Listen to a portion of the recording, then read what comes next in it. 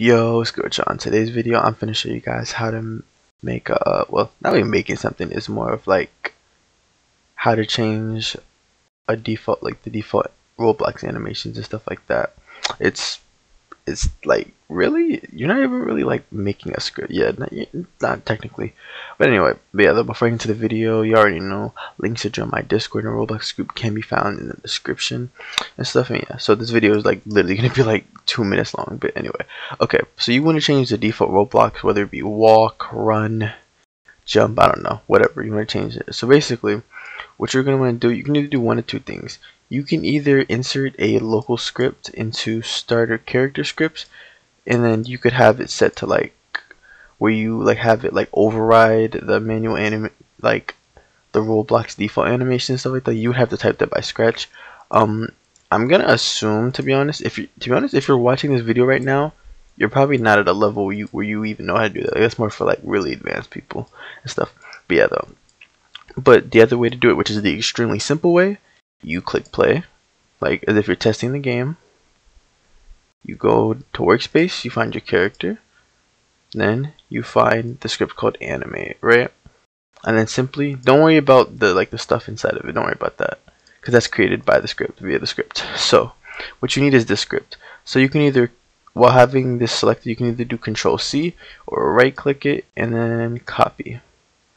And then click stop or you could just copy and paste the script into an empty local script. But. So I just control V, control plus V, and then boom, drag it over starter character scripts, and then here's what you want to do, right? So this is the default Roblox uh, animation script.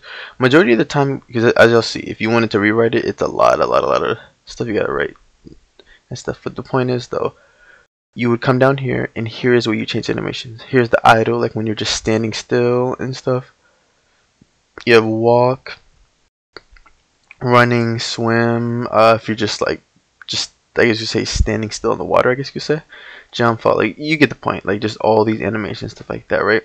And then the, the animation ID is right at the end, right here. Literally, all you would have to do is legit just change the ID.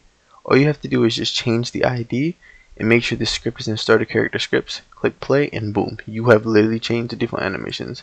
Like but for some of them you got to change like multiple. Like if you like if you have your own like if you have like your own custom idle animations, you have to change each and every one right?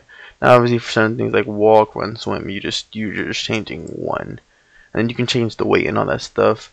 I'm not gonna go into all that stuff as i'm being honest with you i don't even know i don't even know half of this stuff.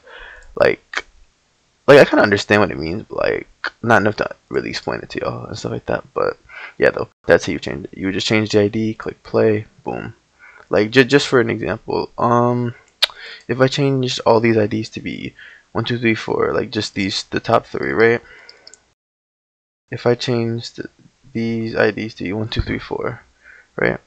And then i click play. While leaving the script and start look if we come here go down here to animate go down here four one two three four the script saves. So yeah, that's how you change your default animations and stuff like that. Hope this video was helpful and stuff like that. If it was, don't forget to drop a like on the video, subscribe. Appreciate the support you guys been on the channel. We finna hit 210 subscribers. I already appreciate it. To be honest, I think we we gonna hit 300 by November and stuff. And that's fine, cause that's my birthday month here right now. That's gonna be hard. It's gonna be hard for stuff. So and stuff. Yeah, I'm sorry if I sound tired or anything, cause it's like four in the morning. But anyway, uh, what's it called? Appreciate the love and support you guys been showing on my videos and stuff. Don't forget to join my Discord and Roblox group. The links are in the description. And yeah, I'll see y'all.